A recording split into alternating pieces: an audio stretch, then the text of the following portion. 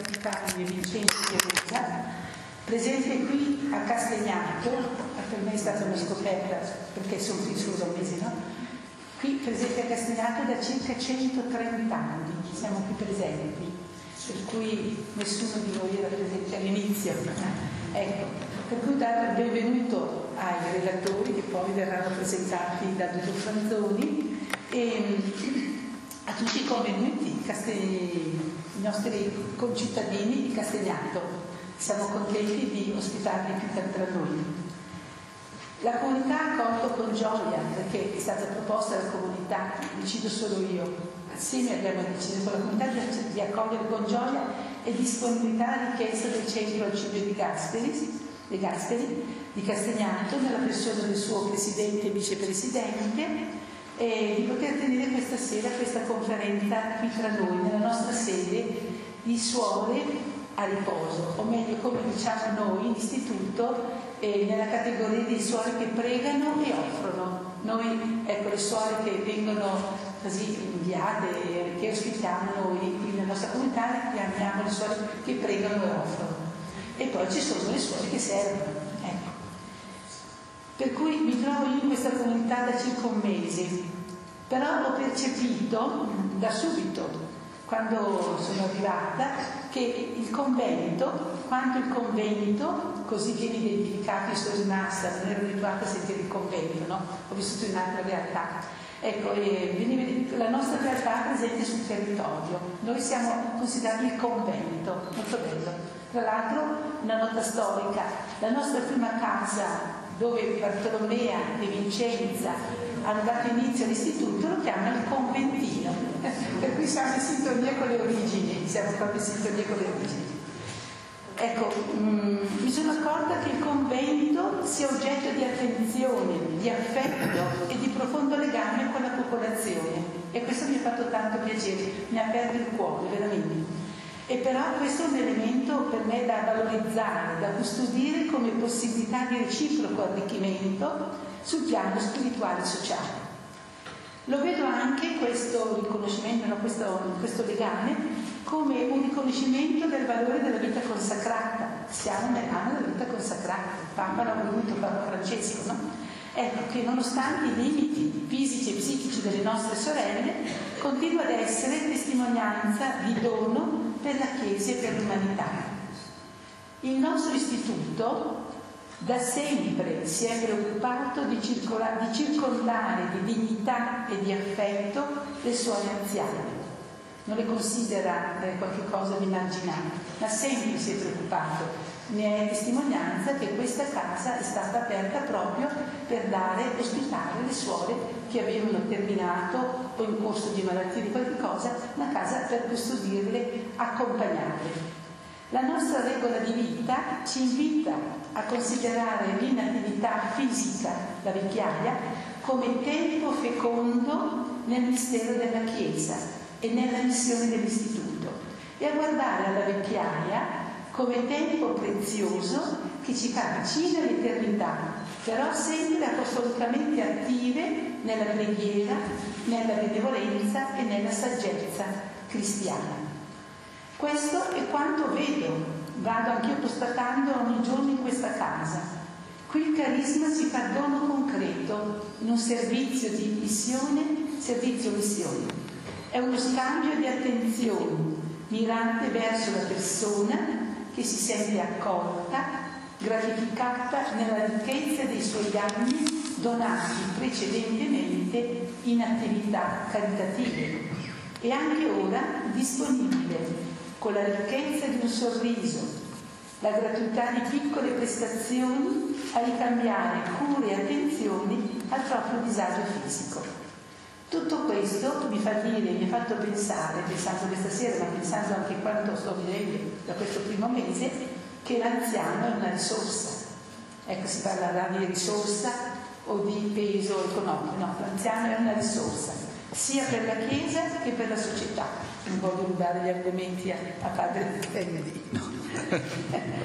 Ora lascio la parola ai relatori, auguro a tutti un buon ascolto nella certezza che la persona dell'anziano venga ulteriormente valorizzata. Con il grazie sentito, l'auspicio che il convento continui ad essere centro e cuore delle vostre attenzioni. Grazie.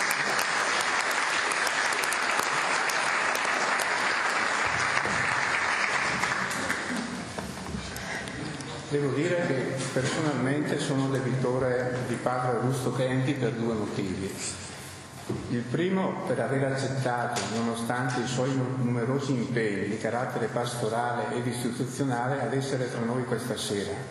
Una conoscenza ca- casuale che nasce a Bozzolo, dove ci eravamo recati come centro De Gasperi per un convegno sulla figura di Don Primo Mazzolari.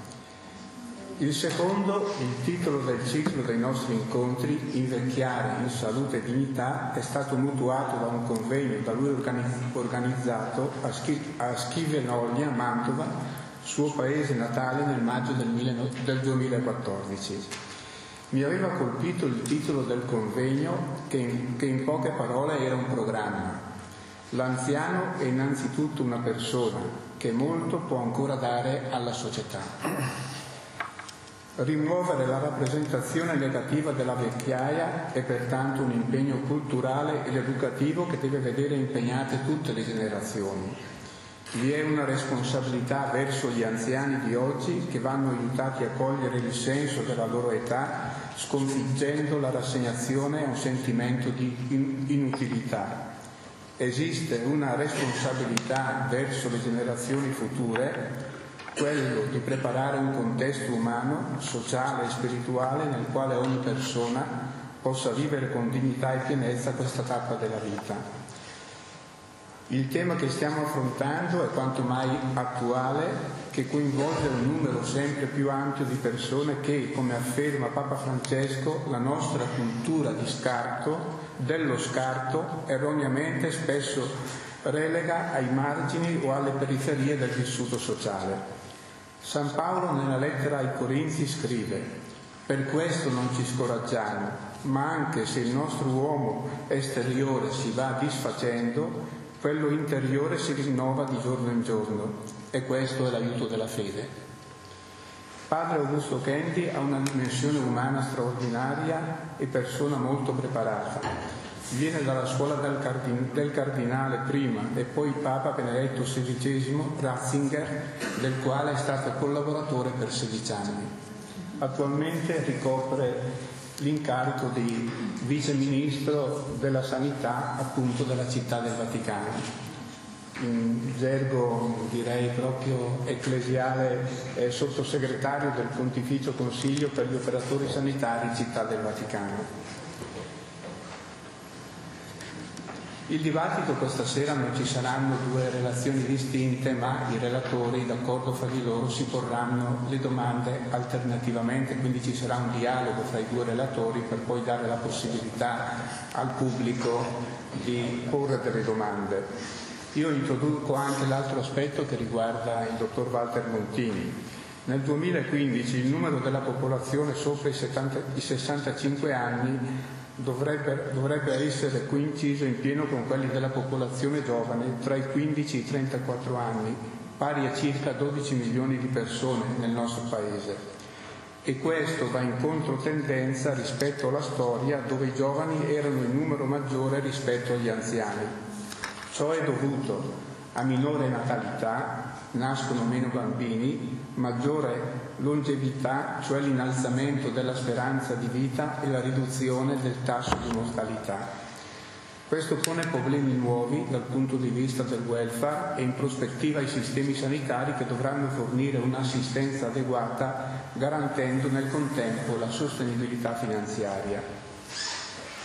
Con il dottor Walter Montini, già, senatore di Cremona, ci conosciamo da alcuni anni perché collaboro da tempo con il Centro De Gasperi di Castagnato, è persona molto attiva e culturalmente impegnato ancora in provincia di Cremona. Attualmente è presidente dell'ARSAS di Cremona, associazione che raggruppa 27 RSA pubbliche e private della provincia di Cremona, nonché vicepresidente della RSA di Isola Dovarese. Quindi il tema che lui poi che affronteranno saranno appunto l'anziano nella, nella società di oggi, costo o risorsa. Lascio La parola a voi. Grazie della vostra ospitalità, grazie alle parole del dottor Franzoni che appunto abbiamo conosciuto in un modo fortuito a Bozzolo, ma da quel momento con una foto o due scattate con il gruppo che rappresenta anche il Presidente, eh, ha costituito il nucleo duro di questa, di questa amicizia che mi auguro vada consolidandosi. Grazie alla comunità delle suore, grazie a tutti quanti voi. Senza perderci in lungaggini, credo che la prima domanda che io come sacerdote, come religioso, pongo al dottor Montini, al Walter, lo chiamo Walter perché siamo amici da lunga data, è questa. Nel mondo di oggi è la riproposizione del, del tema che gli è stato affidato. L'anziano nella nostra società è un costo o una, un, un costo o una risorsa? In questo crinale che cosa possiamo rispondere? A, al nostro dottor Montini la risposta. Io salto i ringraziamenti e vengo subito a rispondere alla domanda alla domanda di padre Candy. Mi sentite?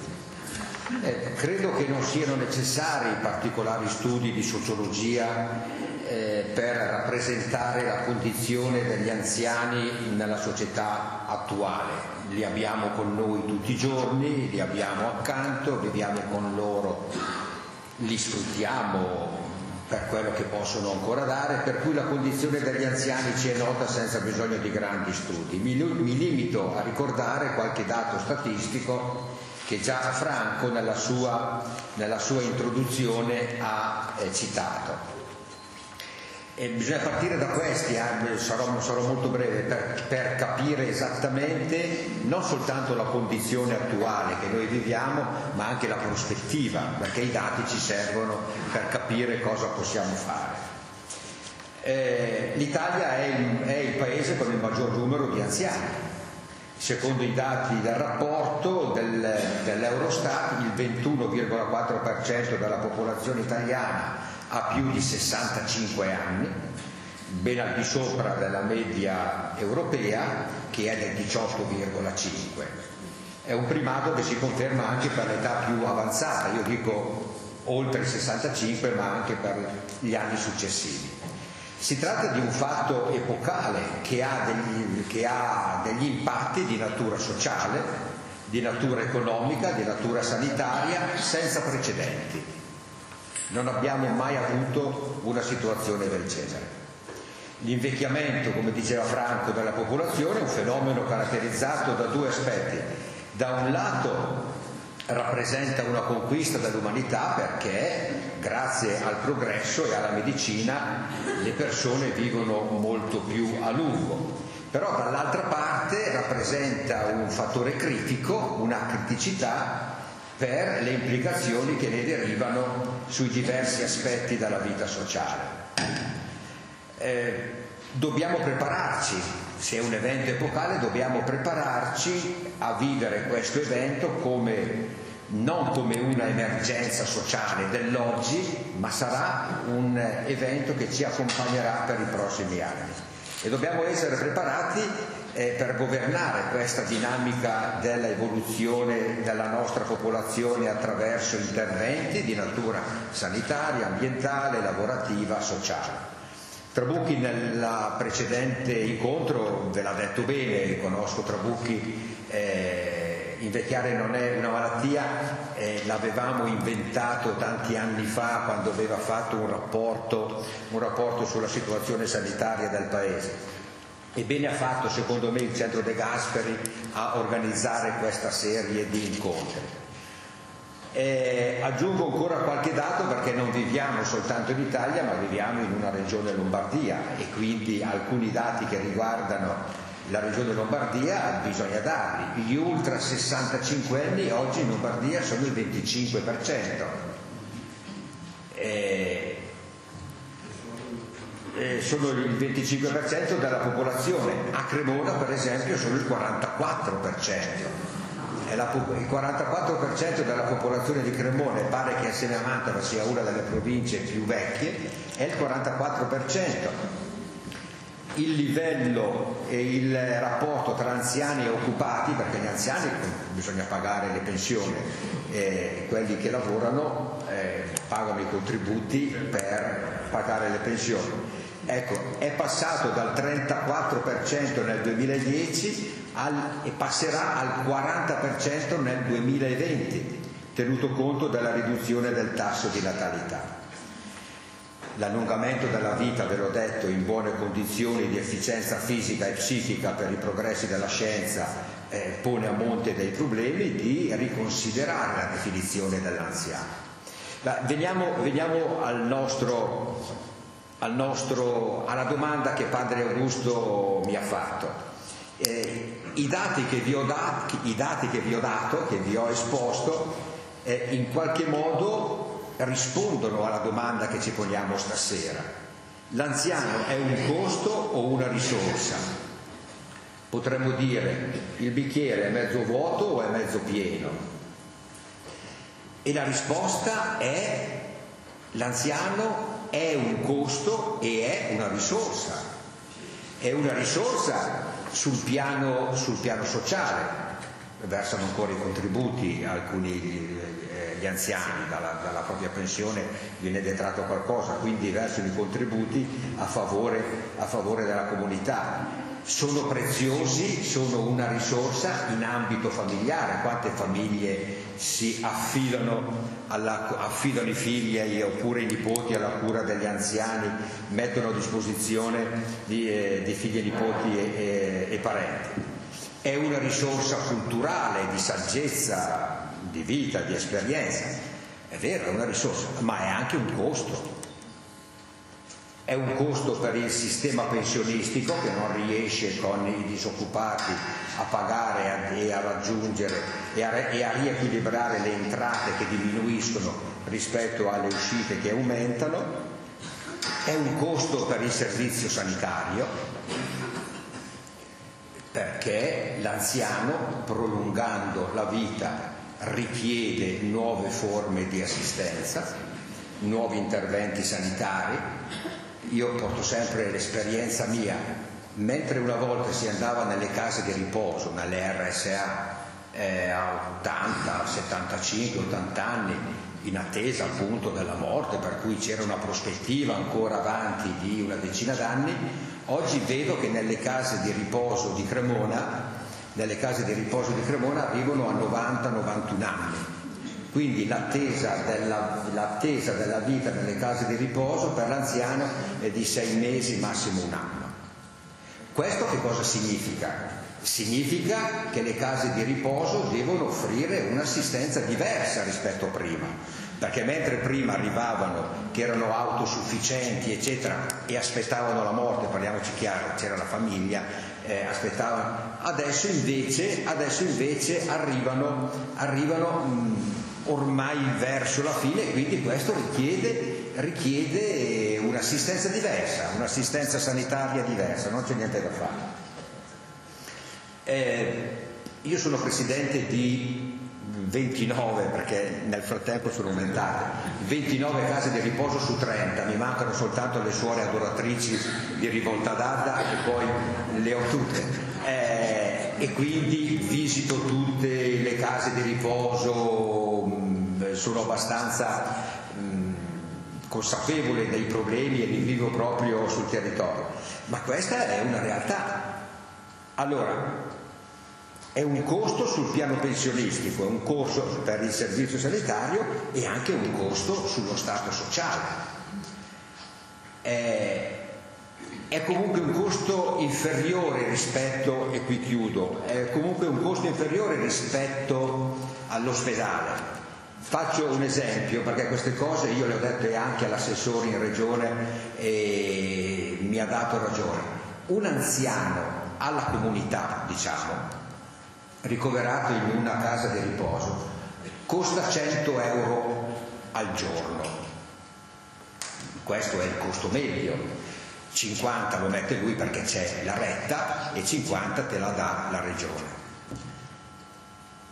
Bene, un anziano in un ospedale costa 750 euro. Ecco perché io dico questo media, logicamente se io e padre Augusto andiamo in ospedale, lui viene operato, la sua operazione costa 20.000 euro, a me fanno soltanto le analisi e spendo 200, la media è eh, 10.000 euro ciascuno, tanto per essere chiari. Però il costo medio di un'assistenza in ospedale, per giovane e vecchio non, non, non faccio distinzioni, è di 750 euro il costo di un anziano in una casa di riposo, dove per esempio nella mia casa di riposo pagano 53 euro, 53 euro al giorno eh, gli anziani e quindi sono già 1500-1600 euro al mese, ecco, costa 100. Ecco questo per dire che eh, non dobbiamo tanto dormire sugli allori, eccetera eh, i costi ci sono, l'anziano è sì un costo e vi ho detto anche come, eh, è però una grandissima risorsa e eh, su questo vorrei adesso fare io una domanda Padre Augusto. Eh, nella storia della Chiesa, della società, eh, lo specifico, la, la, presenza del mondo cattolico in questo settore assistenziale, nella realtà assistenziale, è sempre stata di primaria importanza, è sempre stata preziosa. È inutile nascondersi che la Chiesa è sempre stata all'avanguardia nel offrire servizi ai bisognosi, alla persona fragile, eccetera. Eh, questo lo è ancora nella società attuale, punto di domanda. Mm, mi spiego meglio eh, nello stato sociale dove è compresa anche la Chiesa, la Chiesa che concezione ha dell'anziano? Ci sono, ci sono, documenti, azioni, prospettive, cioè la missione nella Chiesa e nel mondo dell'anziano. Beh, certo che la Chiesa da sempre preso in considerazione la situazione della, dell'anzianità ma a maggior ragione oggi ci sono situazioni, come abbiamo sentito anche dal punto di vista numerico, che impegnano la Chiesa su questo fronte, forse più che in passato. Dal punto di vista della produzione del Magistero della Chiesa, la Chiesa si è impegnata su questo fronte a più riprese. Mi sono permesso di riportare qui, eh, ve le enuncio, delle prese di posizione che alcuni vescovi, conferenze episcopali, ma soprattutto il Santo Padre e i diversi uffici della Santa Sede hanno prodotto su questo argomento, cioè della, della situazione degli anziani. Già Giovanni Paolo II, San Giovanni Paolo II, scrisse nel suo messaggio alla seconda assemblea mondiale sui problemi dell'invecchiamento della popolazione già nel 1982 e poi nel 99 scrisse la lettera agli anziani e in diversi discorsi pontifici eh, con insistenza ritornava su questa situazione e sappiamo quanto questa stesse a cuore al Santo Padre perché lui stesso ha esibito il proprio corpo martoriato e eh, ormai debilitato dall'anzianità senza nessun velo e senza nessuna vergogna, quindi proponendo se stesso come la prima icona di questa situazione dell'anziano.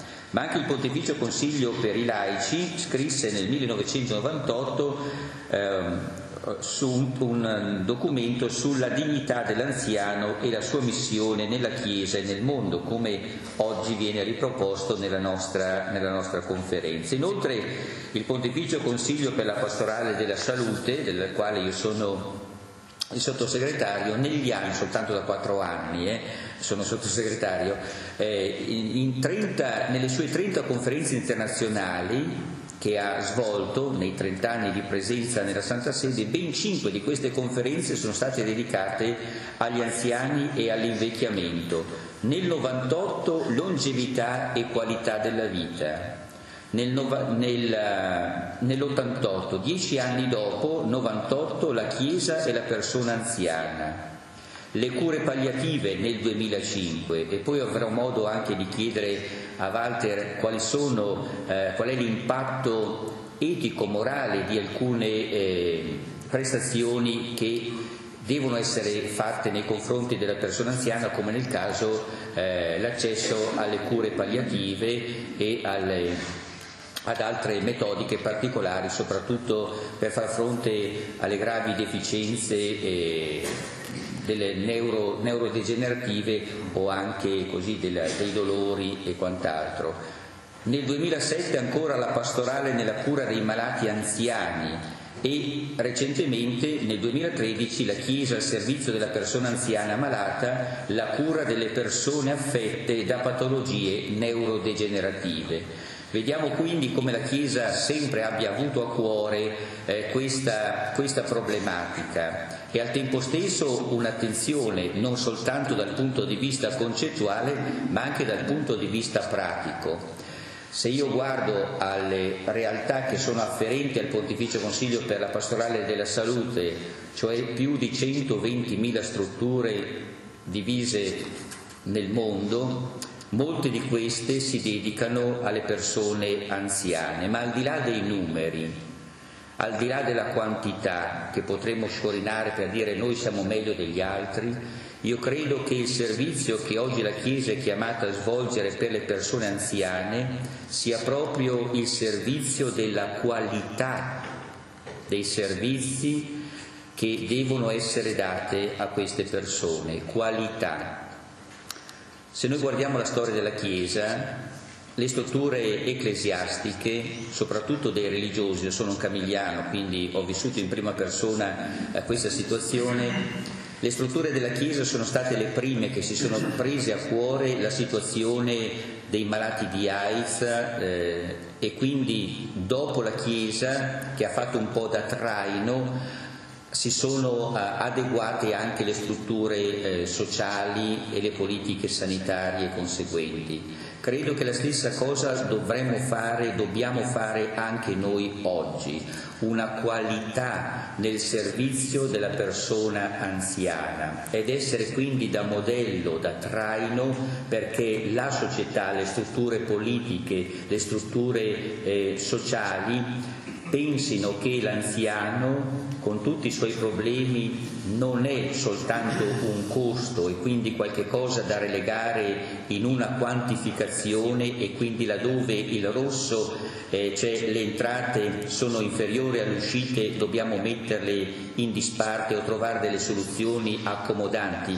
Parlo dell'eutanasia che ormai in molti paesi in Europa sta prendendo piede, ma dobbiamo puntare ad una qualità dell'assistenza Pensiamo in questo caso quanto dobbiamo impegnarci affinché le persone anziane che se in passato andavano, come ricordava uh, Walter, in una casa di riposo perché non potevano più deambulare oppure rimanevano soltanto pochi mesi prima di terminare loro, il loro cammino terreno, oggi come oggi ci troviamo delle persone meno anziane anche, ma che con le patologie neurodegenerative, Alzheimer, demenze senili o giovanili, al Parkinson, hanno bisogno di una qualità di assistenza diversa. Ora qui, secondo me, dobbiamo puntare ad una qualità dell'assistenza che salvaguardi sempre, sempre e comunque la dignità della persona anziana. Dignità della persona anziana non quindi qualche cosa sul quale possiamo giocare dal punto di vista finanziario, anche se questi problemi, abbiamo sentito da Walter, non sono indifferenti,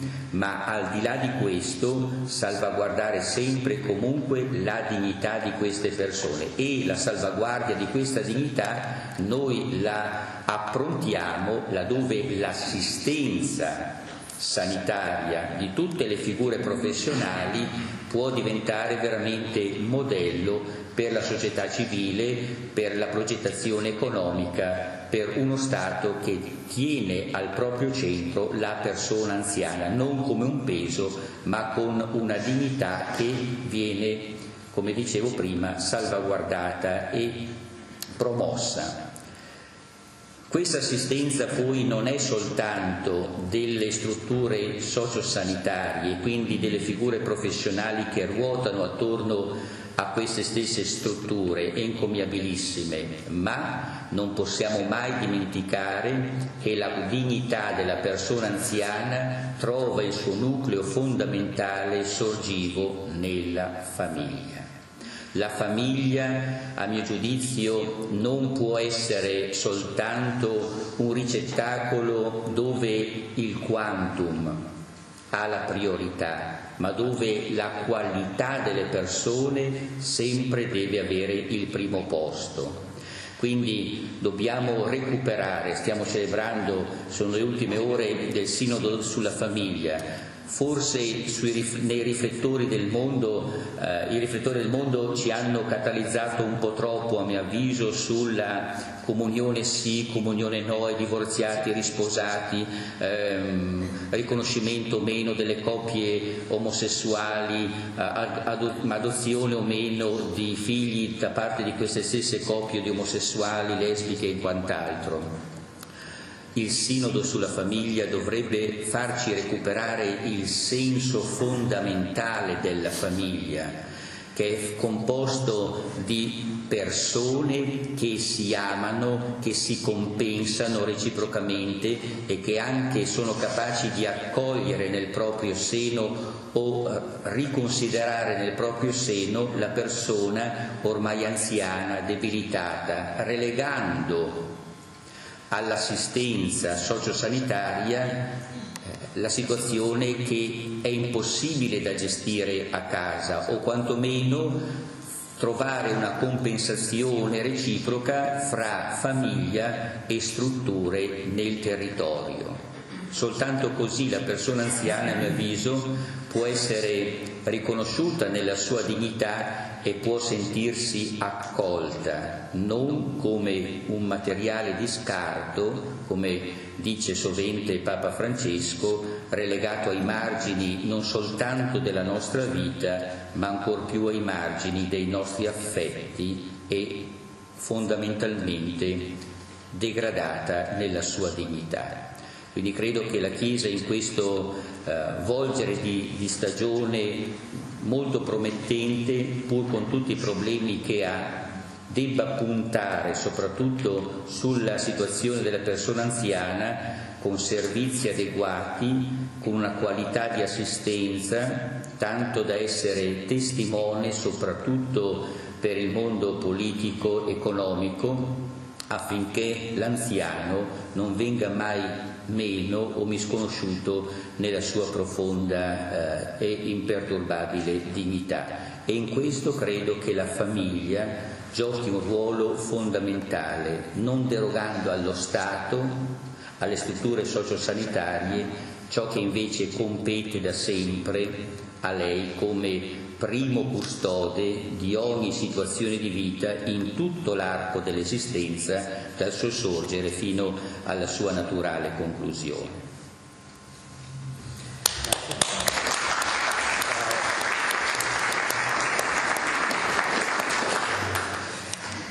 E adesso ripropongo la domanda che era abbastanza... Faccio io eh, adesso la domanda che era eh, velata prima e alla quale facevo accenno, cioè eh, secondo l'esperienza tua, Walter, che hai ormai un bacino di utenza abbastanza ampio, quali sono i principali problemi per un corretto approccio alla situazione della vecchiaia? E quali sono anche ampio questa domanda, i problemi etici, morali che oggi anche gli operatori della, delle politiche sanitarie, oltre che agli operatori, devono affrontare. io innanzitutto, prima di rispondere alla tua domanda, volevo dire, assicurare, non ci siamo messi d'accordo, cioè nel senso che sono contento, esatto, sono contento che siamo in perfetta sintonia o è la Chiesa che comincia a essere un po' laica oppure sono i laici che cominciano un po' ecco però no veramente sono, sono contento perché avevamo ipotizzato un giorno vedendosi abbiamo ipotizzato guarda eh, facciamo questo senza star lì a dire tu parli mezz'ora, io parlo mezz'ora, che poi la gente si stanca. E, e vedo che comunque nel, nel proseguire il nostro, il nostro incontro eh, siamo, siamo in perfetta sintonia. Speriamo di esserla anche in questa risposta e alla fine in questa risposta a questa tua domanda che mi dici eh, il, corretto approccio, il, corretto approccio, che bisogna avere con, eh, con i vecchi, parliamoci chiaro, noi continuiamo a dire anziani, siamo un po' anche con gli anziani, con le persone vecchie insomma. Certamente anche la società laica nel suo complesso è impegnata a dare delle risposte ai problemi degli anziani attraverso le case di riposo o le RSA, attraverso le fondazioni. Eh, ripeto, io mh, coordino 29 case di riposo, ce n'è una più bella dell'altra, sia dove, ci, dove, c'è il personale religioso, sia dove non c'è il personale religioso. Conosco anche gli ospedali, certamente dove c'è il personale religioso c'è qualcosa in più, questo è vero. Eh, però ecco, devo dire che la società è attenta, sia società religiosa che quella laica, è attenta, è attenta ai problemi degli anziani.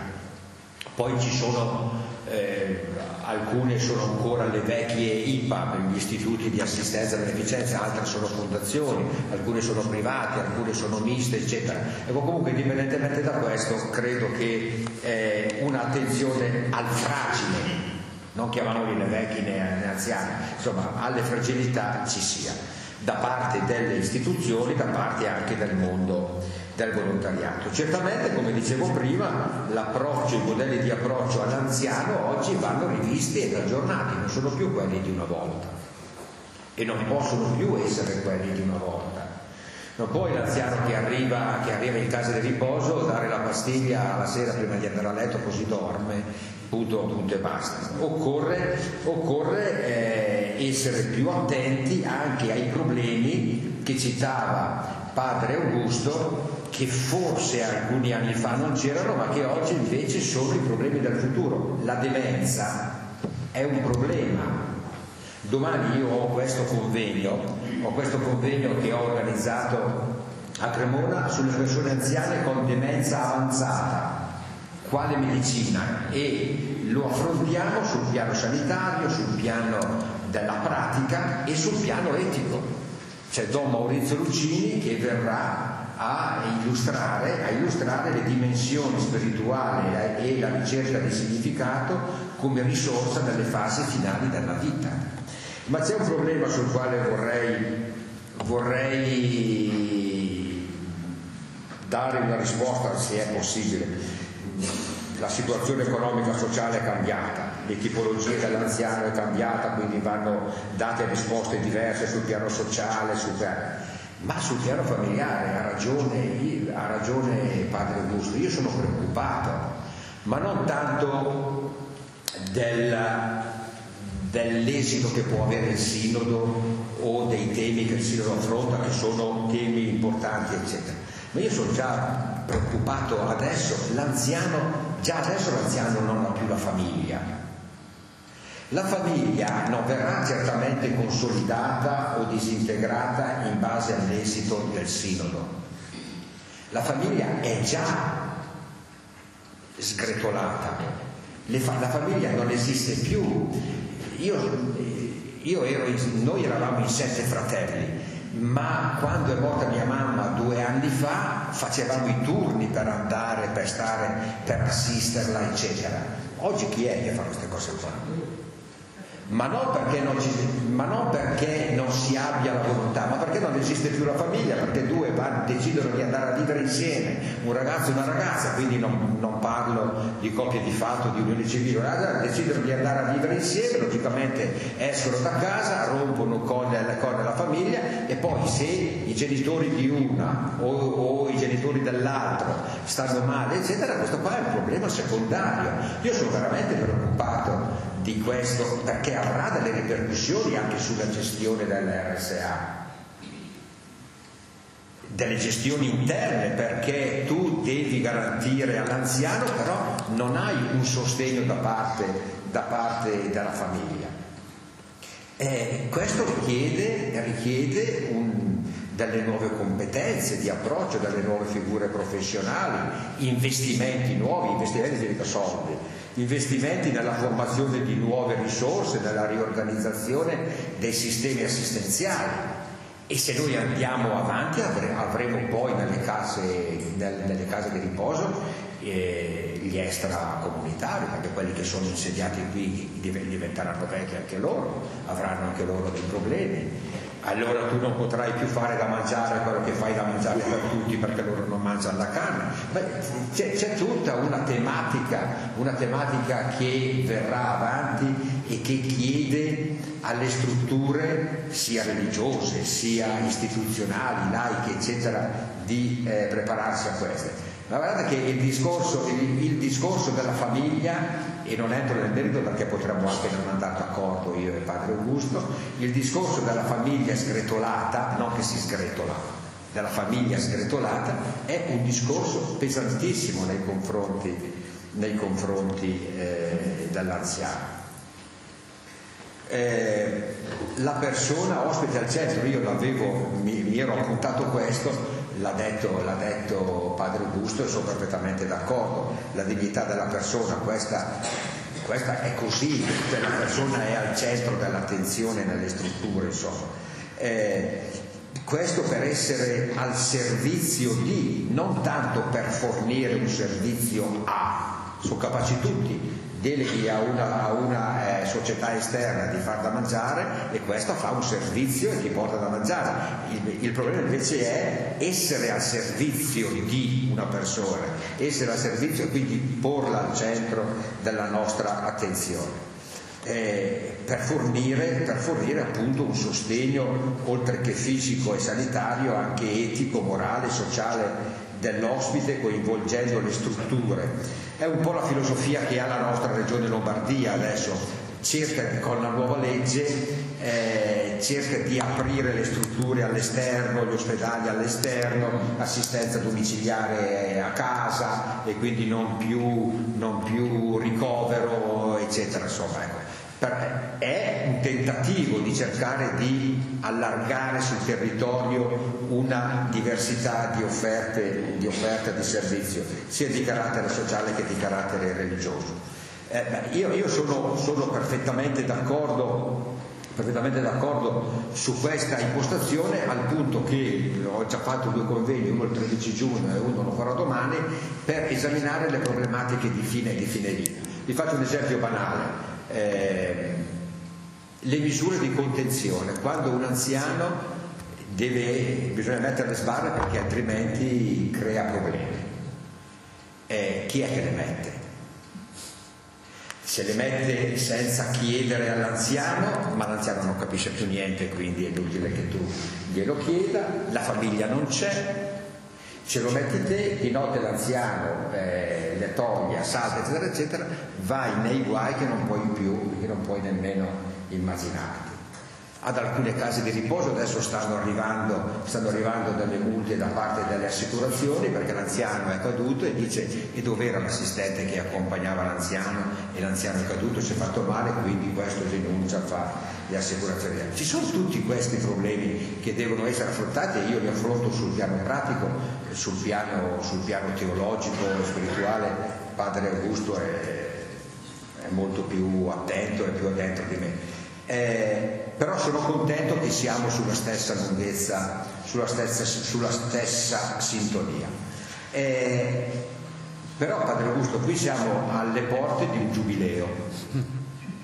L'8 giugno è il giubileo, perché a me piacciono molto le parole, le parole la lettera agli anziani dei pontefici, piacciono molto, eccetera, poi alla fine, alla fine del mese non voglio essere laico fino in fondo, si tira la riga, sai, ma sei costato 3.000 euro ti detto 1.000 e 5, io termino sempre con 2 Ecco, eh, ma questo, questo, questo, è una cosa, brutalizzo la situazione, per arrivare alla concezione iniziale che è un costo e è anche una risorsa.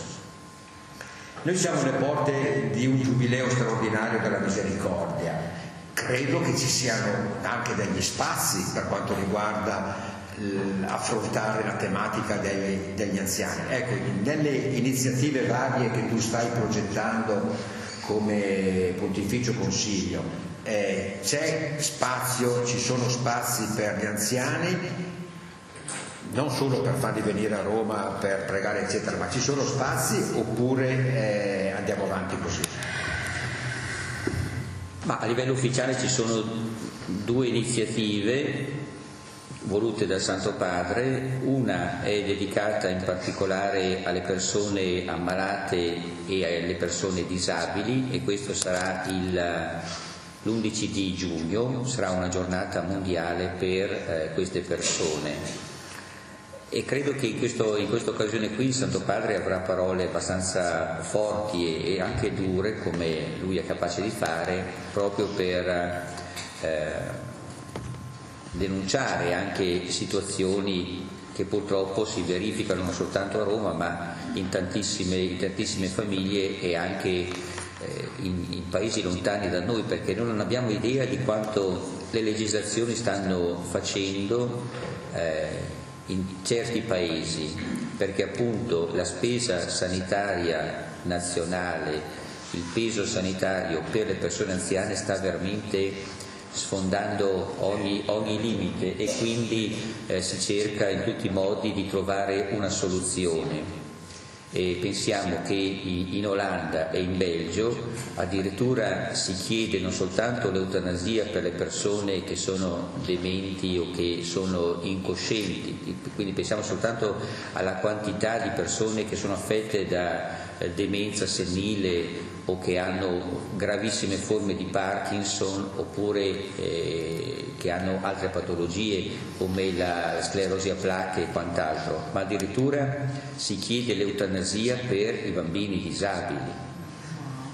Quindi pensiamo che eh, i campi di, di, di Mauthausen non sono soltanto un ricordo dei libri di, di Primo Levi, ma sono una realtà che eh, bussa alle porte delle, delle nostre società oggi, e quindi credo che il Santo Padre in questa occasione avrà un grande, un, una parola molto forte. Da, d'altra parte la Chiesa non può far altro che essere testimone con la propria voce per dar voce a chi purtroppo questa voce non ha o eh, questa voce viene soffocata e sull'altro versante nel, il 4 di settembre in occasione come si vocifera ma è un dato di fatto in occasione anche della canonizzazione di Santa, eh, di Be, della Beata eh, Madre Teresa di Calcutta lì il Papa ha voluto una celebrazione particolare per eh, gli operatori e i volontari della misericordia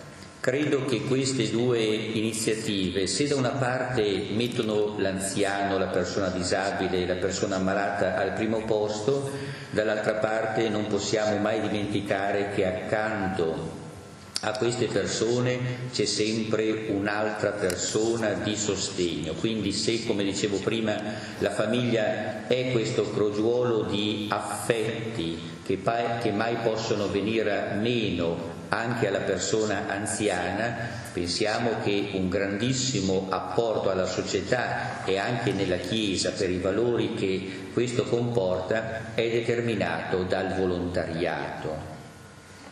Io stamattina ero a Manto e parlavo eh, del, del ruolo della donazione degli organi, delle cellule e, delle, e dei tessuti all'insegna del dono e credo che l'AIDO, l'AVIS e tutte queste associazioni per la donazione del midollo e quant'altro offrano veramente alla società linfa nuova per recuperare quei valori molte volte disattesi o che abbiamo dimenticato o che a volte proprio come diceva Walter poc'anzi, per lo sgretolamento della famiglia non siamo capaci di offrire, di transitare da una generazione all'altra.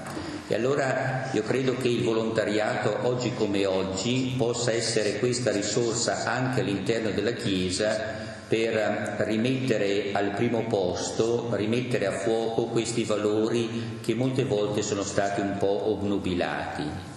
e credo comunque che la presenza di un anziano in una famiglia eh, debba costituire questo nuovo patto intergenerazionale.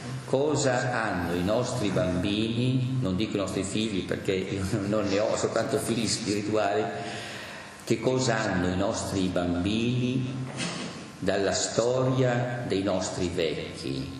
Pensiamo non soltanto filastrocche, ma che cosa veniva veicolato anche a noi quando eravamo bambini, ricordo della guerra, queste persone che anche con mezza cipolla hanno vissuto, sono state insieme nonostante la povertà, la miseria, i travagli della vita, hanno subito lutti, eh, oltraggi, sono stati insieme, il senso della fedeltà alla parola data. Pensiamo cosa significa, cosa significava per i nostri vecchi la parola data, la fedeltà a una parola data anche nei compromessi contrattuali sulla terra o sui prodotti della terra. Oggi come oggi i ragazzi non capiscono neanche la fedeltà agli, agli MSM, non so neanche pronunciarli, cioè questi messaggini che, che, che transitano da, una, da un cellulare all'altro, il senso della fedeltà, dell'onestà e quant'altro.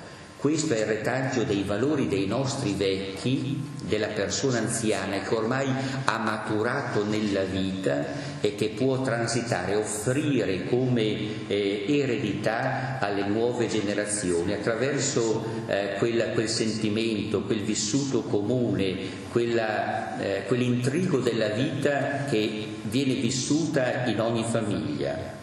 Laddove viene meno l'anziano non c'è più questo questo apporto di ricchezza e quindi anche le nuove generazioni si trovano estremamente povere. E quindi dobbiamo ritrovare un po' questa freschezza di valori sia nella presenza delle, dei, degli anziani nelle nostre famiglie, laddove questo è possibile, o in ogni caso nella valorizzazione della presenza delle persone anziane nella nostra società, anche laddove queste persone sono eh, in queste strutture di accoglienza sociosanitarie, eh, strutture protette. Ma al tempo stesso non possiamo mai dimenticare che il volontariato può oggi come oggi venire in soccorso a queste nostre deficienze della società attuale e quindi rimpolpare di questa linfa valoriale il nostro tessuto e quindi recuperare qui in questo modo eh, questo, questi valori che abbiamo un pochettino messo da parte e che fanno presa, ricordiamolo, più sui giovani che non, su, che non sugli anziani, sulle persone mature. Quasi eh, nei giovani, nei giovanissimi c'è questo imprinting che viene dato loro e che non dimenticano mai nella vita se queste associazioni sono state capaci veramente di accoglierli, di farli parte di sé, di dare delle motivazioni eh, vitali profonde per la loro adesione.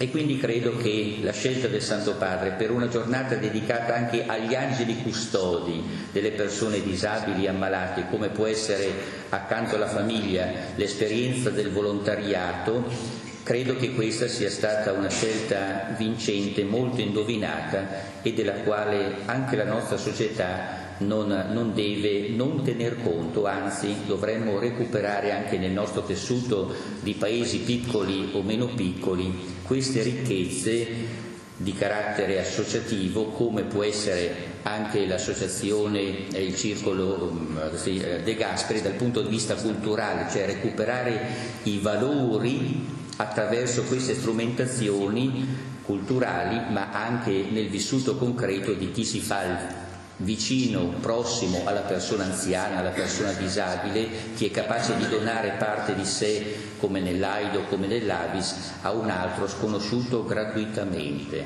Ecco, sono strumentazioni, credo, che eh, dovrebbero essere rivitalizzate e al tempo stesso anche non messe al, ai margini delle nostre, delle nostre attenzioni, anche se sappiamo che oggi l'associazionismo sta vivendo un momento di stanca rimpolpiamo di valori, di entusiasmo queste esperienze perché secondo me queste esperienze meno istituzionalizzate hanno il sapore della vita, il gusto della vita che eh, molte volte abbiamo perso o rischiamo di perdere. Possiamo dare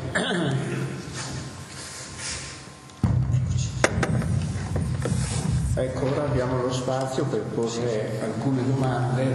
Penso che negli interventi fatti dai relatori ci sia ampio spazio appunto per, porre, per fare delle richieste di precisazione, porre alcuni quesiti.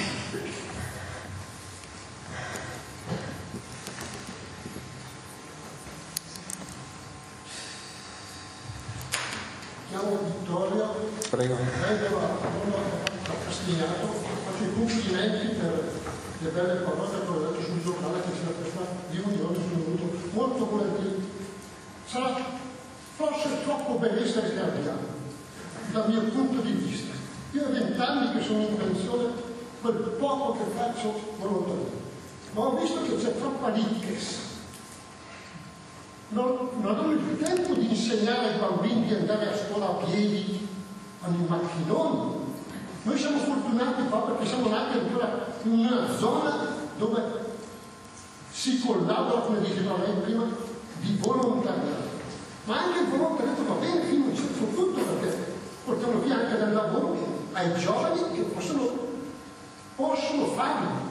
Quello che mi meraviglio io che ha detto prima che costa 700 euro al giorno nell'ospedale e 55 nel... Io ero al contrario di quelle cose lì perché dicevo abbiamo il tempo di, di ragionare un po', di tenere l'anziano, perché sono anziano anch'io adesso, non so che si dice anziano. Ma non si sa, non si, non si sa ancora, perché dicono la grande età. La scusa che adesso hanno fatto, come diceva lei, avevo 29 ricoveri da, ma preferiscono mandarli al ricovero perché... Eh beh, però, però non andano tanti. Eh dopo li mandano là. Io ho, constatato anche gente che sono sempre in chiesa, mi vergogno perché li conosco bene perché è vent'anni anche io faccio volontariato dall'Avis Tide e, e portare gli anziani alle cioè a fare le visite. Mi vergogno perché mandano a chiamare noi quando hanno lì, ma preferisco andare al bar. Eh, eh. E il progresso, e il progresso mio figlio è 15 anni che trasporti medicinali, dice che è vergogna del lavoro nero che c'è nelle nostre zone, quando tanta gente anziana può lasciare il posto ai giovani, insegnare ai giovani. Non ho il tempo di insegnare. Lei ha detto anche no, no, il telefono non ce l'ho. Vado in bicicletta a piedi. Ma è troppo, troppo ben visto dal mio punto di vista. E allora ho fortuna di stare, quello è la prima cosa. Sì, perché che... mi sono accontentato quando ho la fortuna di essere di stare bene, perché poi fortuna anche quella lì. Ma Dio, che, che, esista, che, esista, il benessere, questo è vero, cioè che siamo in una società opulenta dove, però siamo anche in una società dove ci sono delle sacche di povertà notevoli, lei ha ragione, cioè, vedo, vedo anch'io gli operai di una fabbrica che, sono, che, è lì al mio paese, invece di fare del DAPE perché si insemettere, tirano fuori la macchina e vanno in macchina, eccetera, insomma, ecco, che potrebbero benissimo. È un problema culturale, è anche un problema, è un problema Insomma, però la società è questa qua, è inutile stare più tanto a girarci attorno, la società è fatta di gente che non vuole più avere difficoltà, di gente che non vuole più scrivere un biglietto, mettere sul francobollo. Io sono andato a Parigi e ho mandato quattro cartoline ai miei amici, appena sono arrivato a casa mi ha detto ma come che ha fatto a mandare le cartoline? Cavolo, sono andato in un negozio, ho preso le cartoline, ho preso il francobollo, eh, ho le carte, le ho scritte e le ho mandate. Ma va dire, non si fanno più quelle cose lì con le... Eh, Ecco, quindi, ecco, perché, perché, non c'è più la voglia di partecipare, di dire, vabbè, vado dentro in un negozio, compro la cartolina, me la scelgo, vado in posta, prendo il francobollo, lo attacco, lo mando. Che sti chiega di, ma dite se mica normale. Ecco, per cui, però la società è questa. Dopo c'è quell'altro discorso che lei fa e dice ma come mai gli anziani continuano a fare il volontariato, potrebbero far senza farlo in alcuni settori perché così vanno avanti i giovani. E qui però dobbiamo metterci d'accordo. Eh, il volontariato è volontariato, C'è, ci sono i giovani che fanno, che fanno, volontariato, ci sono gli anziani che fanno volontariato, io vedo in alcuni paesi che gli anziani, sono chiamati i nonni, vanno davanti alle scuole per far passare i bambini sulle strisce pedonali, a Roma, a Roma soprattutto nelle frazioni eccetera. Eh, però eh, ragazzi così tu dici perché allora non si assume un ragazzo per fare queste cose qua, per far passare i bambini al mattino eccetera, ma il ragazzo costa e gli enti locali non hanno più i soldi per pagarlo. Allora dobbiamo cercare di costruire in questa società un sistema che faccia in modo che gli anziani siano veramente una risorsa quando c'è la necessità. E ho detto anche perché sono una risorsa e dall'altra parte che ci siano anche i giovani che lavorino perché così almeno l'Inps comincia a prendere un po' di soldi che servono sempre per gli anziani.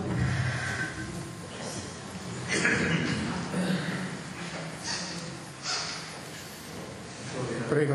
Allora, io Castigliani faccio parte di un'associazione di volontariato e ci occupiamo proprio di servizio di ascolto di imboccamento e di assistenza presso una casa di riposo, purtroppo qui in Castigliano non abbiamo una casa di riposo e i nostri anziani sono un po' distribuiti in tutto il territorio.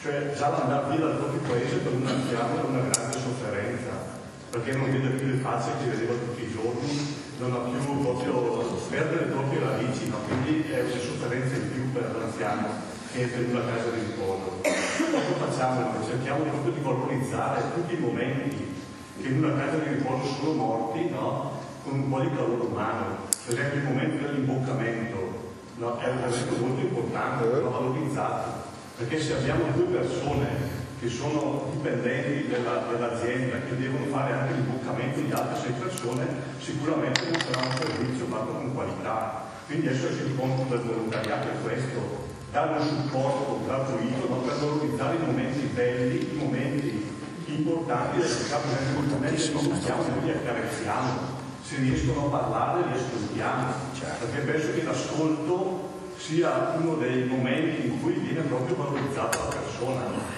Questa persona che in una casa di riposo tende a essere azzerata nella dignità, trova una rinascita nell'ascolto, chi dice chi era, cosa ha fatto, sì, no? sì, sì, capisci anche solo parlando per esempio di calcio, che squadra tifava, che partito era, no? Persona è proprio risbozza, no? risbozza. Poi secondo me è importante per noi associazioni, eh, uno dei progetti grossi è quello di trovare proprio una continuità, no? Mm. cioè trovare delle persone che una volta che noi abbiamo esaurito per motivi di salute il nostro compito possono sostituirsi in questi servizi. Io ritengo fondamentale, no? e infatti con questa signora Angela, che è una catechista, una volta sono stato invitato nella sua classe per dare una testimonianza. E ho proposto a questi ragazzi di fare del servizio di volontariato nella casa di riposo. E mi sono meravigliato del fatto che i 14 hanno aderito a questa, a questa opportunità. Loro venivano, e abbiamo continuato circa per un anno questa, questa esperienza, mettevano le bavaglie, portavano i piatti, riconsegnavano i piatti e per un anno hanno frequentato la casa di riposo. E adesso sempre come sta quel nonno, come sta quell'altro nonno. Un altro proposto che ho fatto alla classe di catechismo è, siccome io sono ministro dell'Eucaristia, eh, di affiancarmi nel servizio di distribuzione dell'Eucaristia la domenica in casa degli ammalati. E anche qui hanno aderito circa 8 ragazzi che a coppia mi hanno accompagnato tutte le domeniche per portare all'Eucaristia. Secondo me dobbiamo proprio studiare anche la Chiesa, sì, sì, un piano no? per poter trasmettere il valore del servizio, della carità alle nuove generazioni. Secondo me uno degli sbagli più grandi che viene fatto nel catechismo è quello di trasmettere solo la conoscenza di Dio su un unico binario. Invece secondo me va, trasmessa anche su un altro binario, che è quello del servizio ai fratelli già dalle prime classi del catechismo cioè per esempio l'adozione di un nonno un'iniziativa, oppure hai un nonno nella tua via cominciare a visitarlo con una certa frequenza insieme ai tuoi genitori però. Sì, sì. Cioè secondo me bisogna studiare proprio delle nuove iniziative per portare già da piccoli alle nuove generazioni che il catechismo è crescita della conoscenza di Dio, ma anche cominciare a piccoli passi del servizio di sì, io credo che grazie della sua testimonianza che non, non, possiamo che assecondare ciò che lei ha detto, ma a questo riguardo mi permetto soltanto una cosa, battendomi il petto, eh, credo che nella Chiesa si debba riscoprire veramente, al di là dell'efficientismo del quale siamo anche noi molte volte succubi, eh, si debbano ritrovare i momenti di incontro.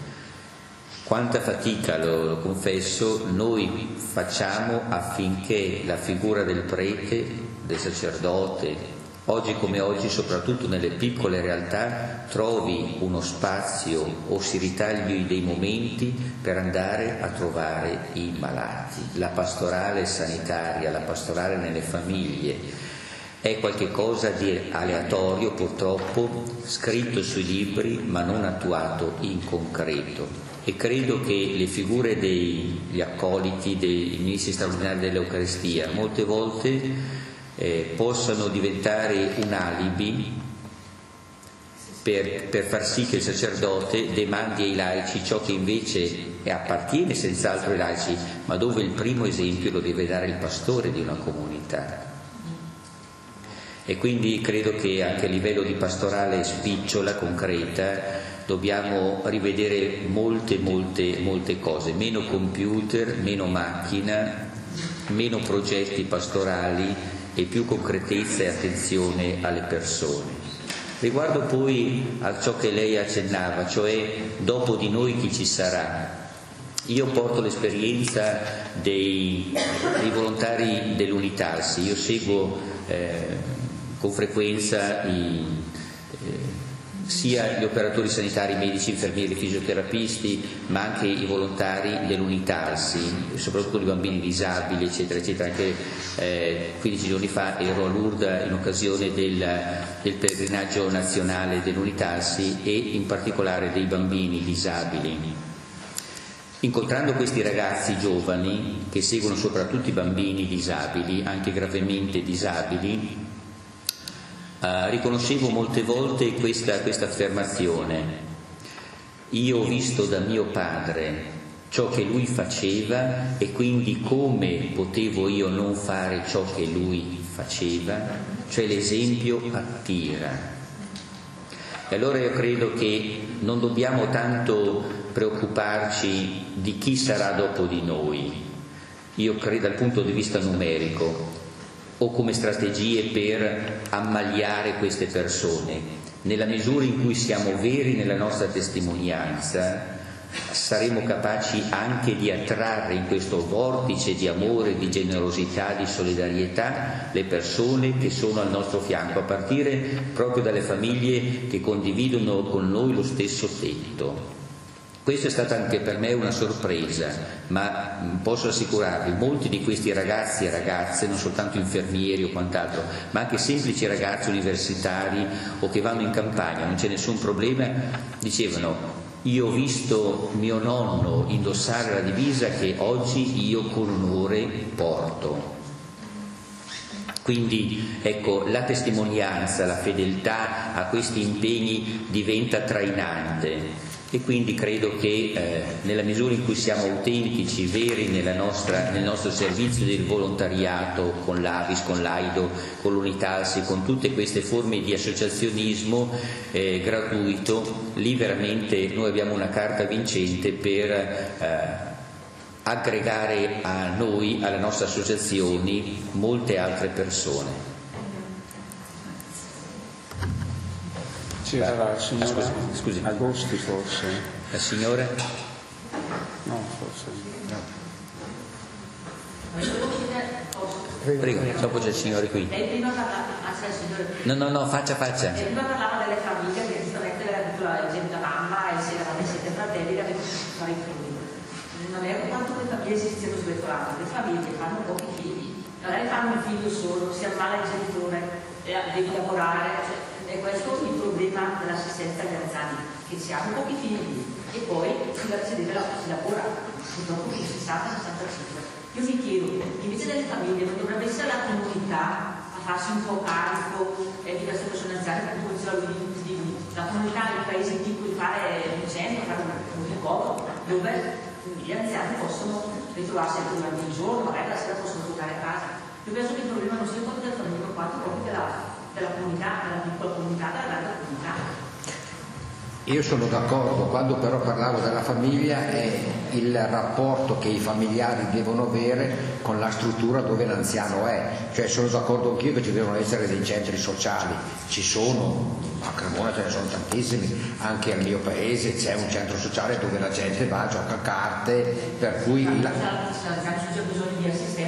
Ecco, se ha bisogno di assistenza e quindi deve essere ricoverato, nel momento in cui viene ricoverato il sostegno della famiglia non c'è e, non c'è nemmeno il sostegno della comunità, quindi io mi riferivo a questo, però sono d'accordo con te nel dire che bisogna fare in modo che dal basso, che dalla comunità nasca una rete, una rete di sostegno che lo accompagni fino alla fine. Ecco.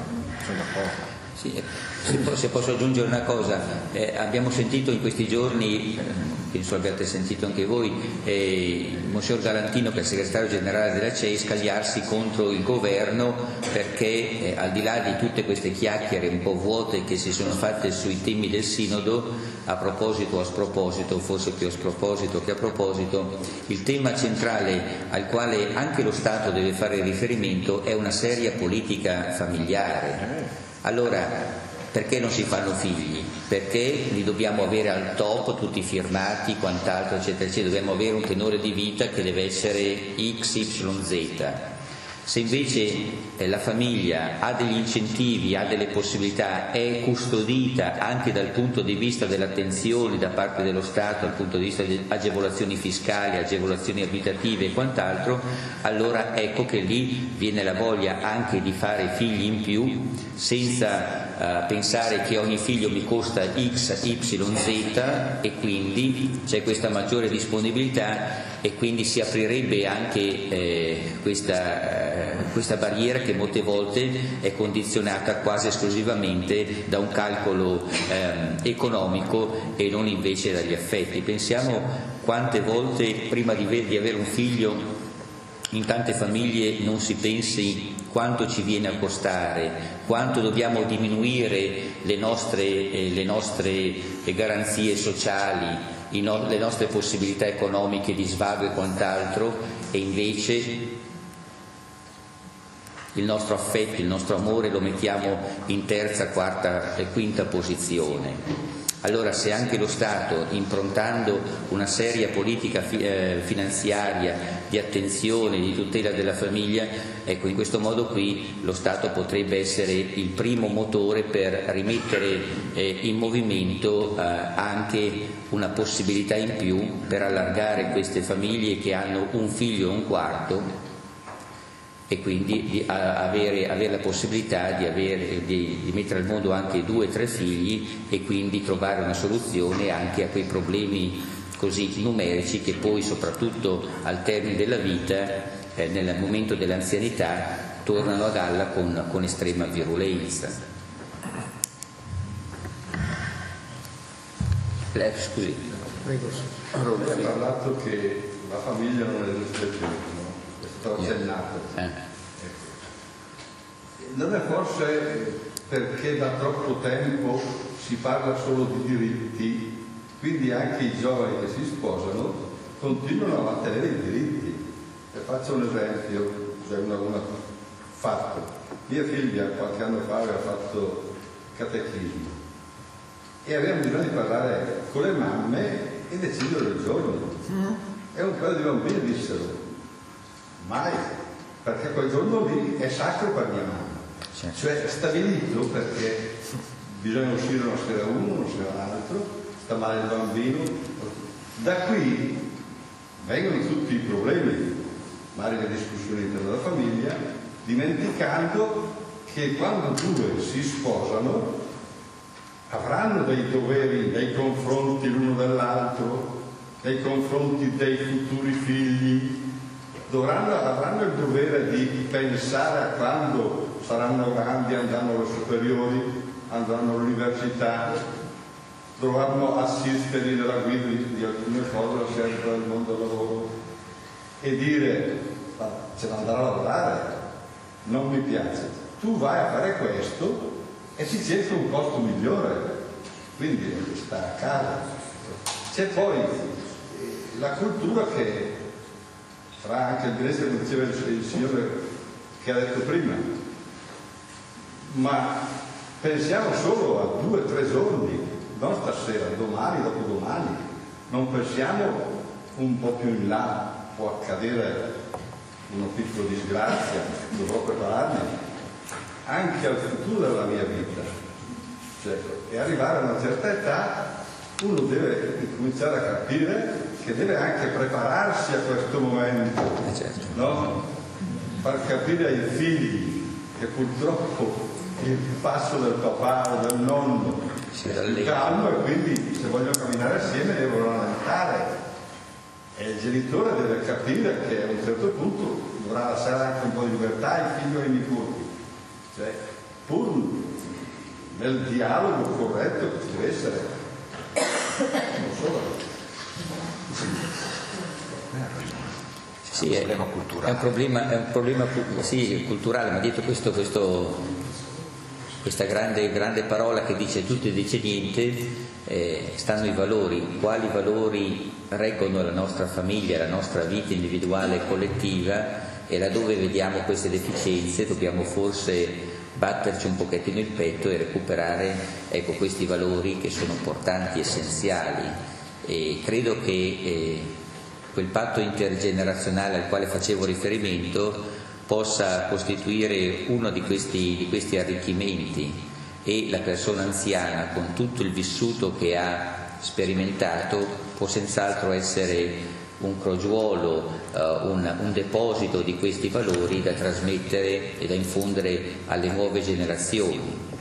Certo è, è difficile oggi come oggi, ma non dobbiamo demordere, insomma eh, credo che la parola che dovremmo eh, conservare dopo questo, dopo questo, incontro non sia quella della depressione ma quella della speranza, cioè pur con tutte le difficoltà che ci sono la vecchiaia, la persona anziana è portatrice di speranza perché lui per primo ha vissuto tutto il travaglio di un'esistenza nella gioia e nel dolore, nella difficoltà e nella, e, nella, e nella speranza e quindi oggi offre alla nostra società un vissuto pieno e compiuto e quindi essere motivo di speranza non soltanto per sé, perché ha vissuto bene e continua a vivere bene finché il Signore gli darà eh, vita, ma al tempo stesso può essere un lume in questa oscurità che molte volte eh, rischia di avvolgere tutti quanti, mentre invece queste luci ci sono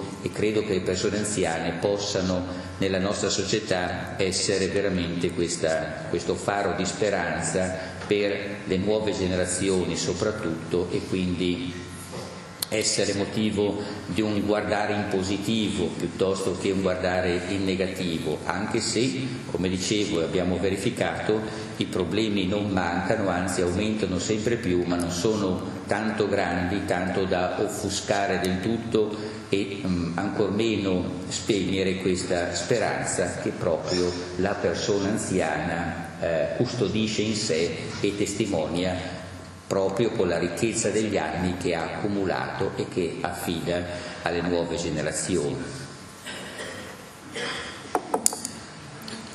Don Fulvio, il nostro parroco. Il parroco. Nel 78 quando sono diventato prete mi ha detto che ero preso che ero anziano. Eh, per la saggezza. Eh, no, dico questo perché um, il problema è nessuno si sente anziano, cioè sono anziani perché vanno a casa di riposo dopo di 90 anni e allora ci manca però la vera figura dell'anziano, che comprende anche quelli, ma senza criticare la realtà. Cioè, se, se facciamo fatica addirittura a diventare adulti, perché diciamo che tante volte siamo tentati sempre di essere un po' adolescenti, figuriamoci di diventare anziani.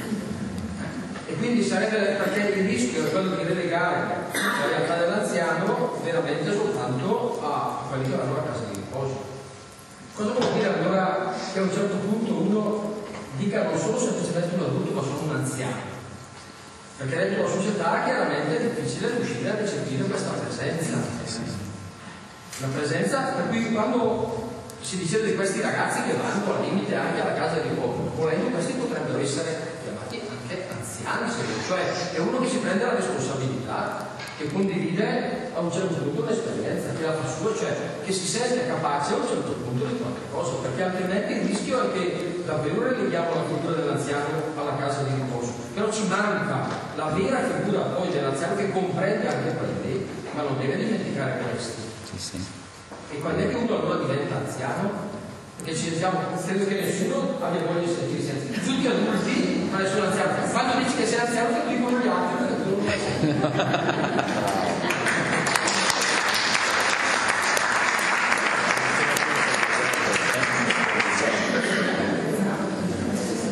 Diciamo allora che essere anziani significa aver accumulato la saggezza del cuore? Quella pienezza di vita che sa, che sa, far vedere le realtà positive o negative con un certo distacco e con una certa maturità e quindi sa affrontarle in prima persona senza derogare o demandare a terzi ciò che invece a ciascuno di noi compete in prima persona. Questa è la persona adulta e ancor più la persona anziana che eh, ha maturato più esperienze in questo, in questo senso. Eh. Walter, aggiunge qualche cosa? No, no, no, sono contento perché ho visto le suore molto attente. Poi non ho mai visto tante suore così, per essere sincero. Per cui sono veramente contento. Beh, molti, molti amici li conosco, ecco, però tante suore così non le ho mai viste. Eh, sono contento. sono avanti bene. No, sono contento, sono esatto, infatti ho viste. Sono davanti, ho visto sto. Bene, se non ci sono altri che vogliono intervenire, io ringrazio Padre Augusto Kendi e dottor Walter Montini di essere stati presenti qui questa sera. È stata una bella testimonianza. Cogliamo gli aspetti positivi della speranza appunto che ci avete dato e ringrazio anche voi della vostra presenza. Grazie.